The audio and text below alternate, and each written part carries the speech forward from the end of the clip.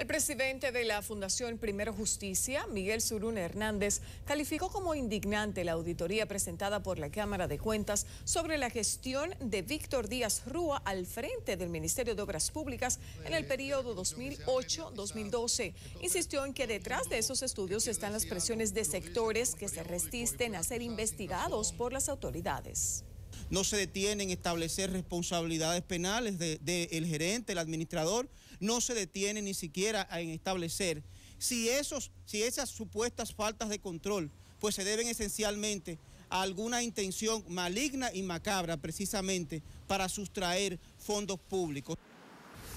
Un informe de auditoría de la Cámara de Cuentas indica que durante la gestión de Díaz Rúa en obras públicas solo se cometieron debilidades administrativas y no así actos de corrupción.